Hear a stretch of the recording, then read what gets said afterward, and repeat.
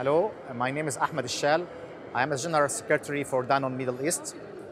I'm really proud to be here today joining the Gulfood uh, Conference. For the first time after 18 months, we are facing face-to-face meeting with all consumer, with the regulator, bringing private and public uh, sector together.